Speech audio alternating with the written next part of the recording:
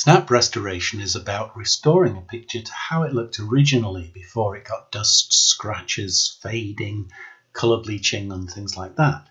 But once you're doing the work on that, it's very tempting to enhance the picture too, maybe reframe or retouch. Let me show you what I mean. I've loaded a picture into Photoshop Elements and I'm going to follow the workflow for the workflow for restoration as I demonstrated in other videos. First of all, I think about whether there are global things that I want to enhance. In this case, the levels and the colors are okay, but I am going to bring up the shade of the shadows a little bit. I go to the Enhance menu, down to Lighting, and to Shadows Highlights. Now, the default for light and shadows is 25%, and I'm going to accept that. I'm going to use that. Later on, I think I'll probably change the levels again to give more contrast. But for now, I want to be able to see the background so that I can fix it. So I'll say OK for that and then move on to the next stage of the workflow, which is to create a duplicate layer. The layer menu, duplicate layer, OK. The next phase of what I do will be working on this top copy of the image. First, an automated filter to apply across the whole picture to remove dust and scratches filter menu, noise, dust and scratches. This is the one that I must normally use for removing noise. Leave the radius at 1, anything bigger makes the picture blur too much. Threshold depends on the amount of grain in the picture and the amount of detail. 18 is about right for this snapshot from about 25 years ago. So let's leave it at that. That does our first level removal of noise. Now though we have to go local and we use the tools spot healing brush and clone stamp tool to do that. Spot healing brush, let's begin with this and zoom into the picture using the uh, scroll wheel on the mouse to look for areas that need touch up. Well, here are some. Let's make the circle big enough to encompass these areas where there are little marks on the picture that we want to remove. Moving across, there's another piece just there. We'd like to be rid of that. Very good. Looking, zigzagging down there, something on the on the neck there. We want to just dab that.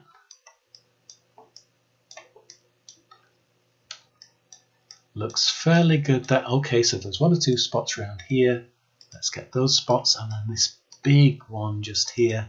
We can dab around that with a spot healing brush, maybe make it a bit bigger, just so that we can get it to blend into the background. And we carry on through the image, looking for these places to improve. I think that we've probably got most of them now. Maybe this piece here in the sweater is a bit of noise. There we go. Okay, so that is our noise removal stage.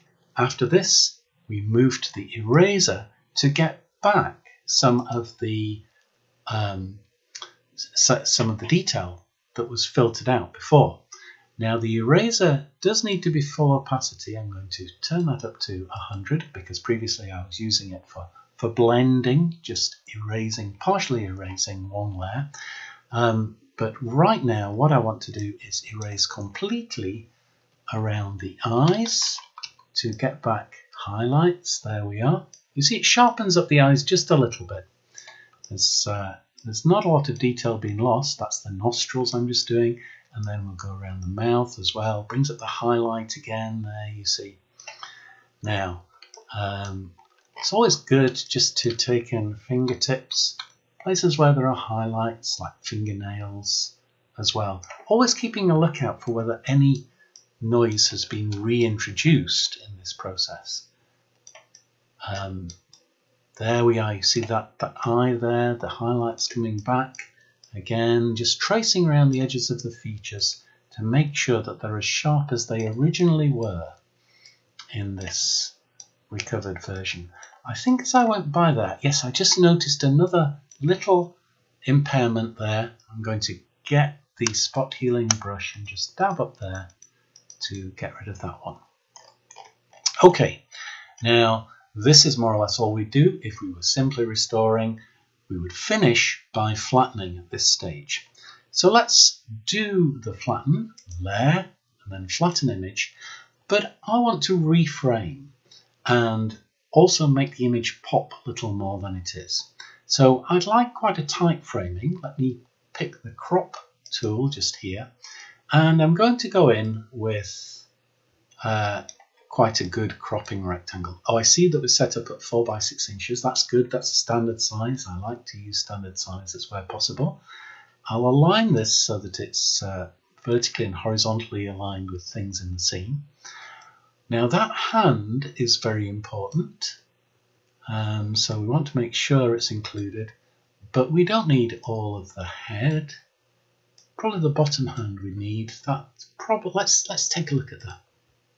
Okay, I, I quite like that framing, but now we're we've zoomed in like that. These bits of window that are left behind are kind of distracting. So what I'm going to do is, um, by illustration touch up as well, is I'm going to clone some of the curtain to fill in those gaps. For this we need the clone stamp tool and we need to choose areas of curtain that will fill in and close. First of all this little gap just here I'm going to just take a place very close by and use that to fill in carefully. Now I might need to zoom in even more and get this nice and small so that we we fill that in.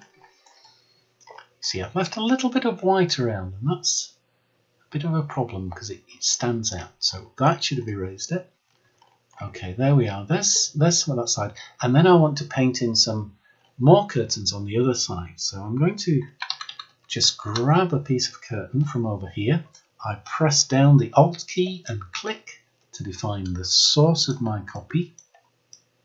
And now I'm going to paint that into this area. I'm going to again have to be very careful near the boundaries and I could actually use use layers for this. I could um, paint my background quite freely and then use the eraser to carefully erase and uh, make the match up. But because this is such a small area, I'm just going to paint it in like so, trying to follow the line of the foreground doesn't matter too much if I take away a little bit of the foreground, um, but when it gets to the hair, I think I probably do have to be more careful. So we can paint that in, and so this is obviously artificial curtains just here, but it stops that white area from, from showing up and distracting the eye from the main subject of the picture. So I'll just add this in around here. You see again I've got a white fringe. I need to come back and deal with that um, because that, that is going to be visible. It will draw the attention. So we need to we need to try and work fairly carefully to make it look as though the the hair is in front. In fact, this fringe I think is exacerbated a little bit because of course the hair was backlit before with the window where it was. So we may not have something that looks perfect in the end, but it's right at the side of the picture. So hopefully working on it carefully enough, we will be able to um, give the impression that this background is the same. Now this isn't strictly necessary of course, but if we'd left the window in, it would have stood out and such a small area of brightness would have drawn the eye instead of letting you focus on where the real action is in the picture. So if we come out, we've more or less filled in those bits just there. Now we just want to make the image pop a little more. So two ways to do this. On the Enhance menu, we can go down to Unsharp Mask, which is one mechanism for sharpening. And this is, has various parameters. Down here, is how big a difference must be before it is amplified. This again is to avoid amplifying noise in the background. In a way, it's analogous to the threshold that's in the dust and scratches filter. So around about 12 seem to work well most of the time. Keep the radius down if you can. If the picture is more blurry, the radius needs to come up a little bit. And amount, well, amount can be anywhere from about 50% to 150. This is this gives a nice bit of sharpening on a picture that's already quite crisp. So I think that's uh, looking quite good now. Last thing to do though is to enhance the grey levels. So down to adjust lighting. This time, instead of shadows highlights, go to levels. Here is the histogram of levels. And you see we've got a little room at the top and the bottom to slide these end stops in to give us more contrast, to make the picture pop a little more. So I'm going to do that. I quite like that. Now there are other things that we could do as well to enhance the colour, but I, I quite like this as it is. I'm going to save this as my enhanced version of the picture I started with.